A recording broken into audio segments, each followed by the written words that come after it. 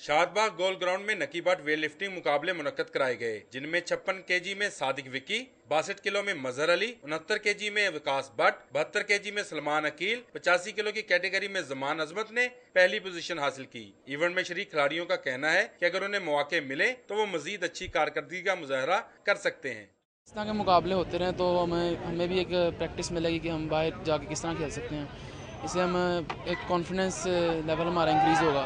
Event बहुत मज़ा आया यहाँ पे। मैंने दो गोल्ड मेडल हासिल किए हैं और इस तरह के इवेंट होते रहने चाहिए ताकि खिलाड़ियों का टैलेंट सामने आ सके। मुकाबलों के अख्ताम पर कर्नल रिटायर्ड आसिफ डार और आमिर भट्ट ने खिलाड़ियों में इनाम तकसीम किए। इन मुकाबलों के ऑर्गेनाइजर अदरीस भट्ट का कहना है कि इस इवेंट के इनका का मकसद नकी भट्ट की खिदमात को खराज अकीदत पेश करना है। नकी भट्ट साहब को बाबा स्पोर्ट्स, बाबा वेट लिफ्टिंग कहा जाता है।